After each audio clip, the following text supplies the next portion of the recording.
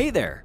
Is your Mac running slow because of too many messages? Conversations can pile up fast and take up space. But don't worry, we'll show you how to clear them out and introduce some great Setapp tools to help you organize your messages.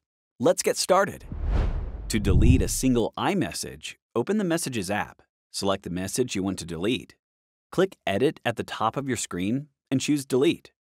For a faster way, right-click or use two fingers on the trackpad and pick Delete.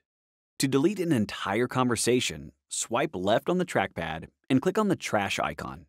Alternatively, right-click the conversation and choose Delete Conversation. To delete multiple messages, hold the Command key and click on the messages you want to remove.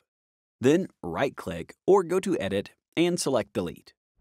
Did you know that attachments like photos and videos use up more space than text messages? To delete them, open Finder. Press Command plus Shift plus G. Type tilde slash library slash messages slash attachments and hit Enter. Remember to empty the trash to free up space and back up any attachments you want to keep. For automatic message deletion, go to Messages Settings. Find Keep Messages under the General tab and choose to keep them for either 30 days, one year, or forever. Messages will be deleted automatically after that set time. Managing messages from different apps can be tricky, but Setapp can help.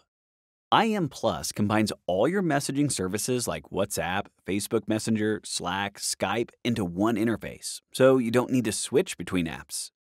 CleanMyMac clears messages and attachments, keeping your Mac running smoothly while Path Finder simplifies file management with its dual pane view, making it easier to delete files or attachments in bulk.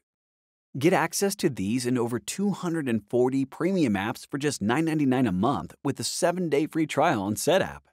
Sign up using the link in the description, and don't forget to share your favorite Mac tip.